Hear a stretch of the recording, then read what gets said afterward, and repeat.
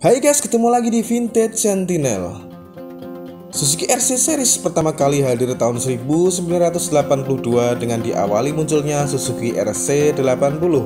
RC Series tercatat mampu bertahan hingga 2002 guys. Hal ini membuktikan bahwa RC Series merupakan motor bebek dua tak yang bertahan paling lama peredarannya.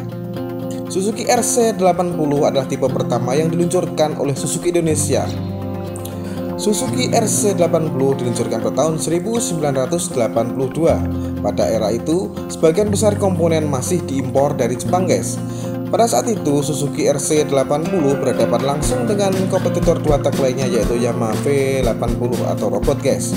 Keunggulan Suzuki RC80 ini ditandai dengan tenaga yang besar, mekanisme perpindahan gigi yang lebih halus, dan stabilitas pengemudian yang sangat baik. Namun kelemahannya adalah jenis RC series ini adalah untuk BBM agak boros konsumsinya guys jika dibandingkan dengan kompetitornya yaitu V80 atau Yamaha Robot guys. Dalam konten kali ini kami akan sedikit mereview salah satu varian langka dari Suzuki yaitu Suzuki RC80 warna merah guys. Pada masanya, varian warna yang paling banyak beredar adalah Suzuki RC warna hitam, sehingga warna merah jarang kita jumpai saat ini.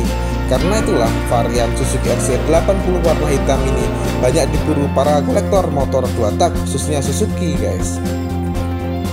Sebagai gambaran Suzuki RC80 yang ada di video ini kondisinya mesinnya masih fit banget guys Jika kalian ingin meminang motor ini, motor ini juga dijual guys dan jika kalian membeli motor ini, kalian tidak perlu mondok-mondok di bengkel atau sekedar bebenah kecil atau bahkan besar guys. Karena mesin RC80 merah yang ada di video ini siap pakai dan halus untuk ukuran mesinnya guys. Selain itu, indikator-indikator pun nyala normal guys.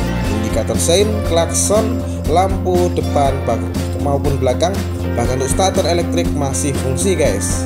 Namun jika mau lebih mantap bisa kalian ganti akinya dengan yang baru agar lebih keras tarikan listriknya guys.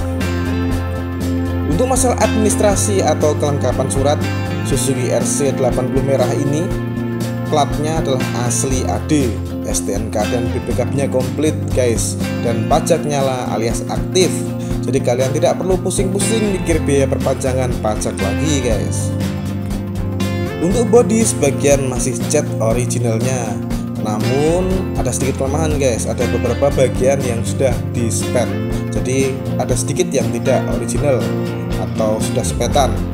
Namun untuk mika sein mika stop ataupun mika-mika yang lain serta reflektor maupun holder-holdernya guys. Itu masih original bawaan motor guys. Jadi untuk keasliannya masih terjamin. Secara umum, motor ini sangat recommended untuk kalian beli guys. Nah, jika kalian berminat untuk harga dan kondisinya lebih jauhnya, silahkan kontak saja ke pemiliknya. Namanya Mas Agus, lokasinya ada di luar Magelang Jateng Untuk WA nanti tak jelaskan, tak tulis di video ini guys Oke guys, sekian dulu video kali ini. Sampai jumpa di video Vintage Sentinel yang lain. Jangan lupa untuk like, share, dan subscribe-nya. Terima kasih.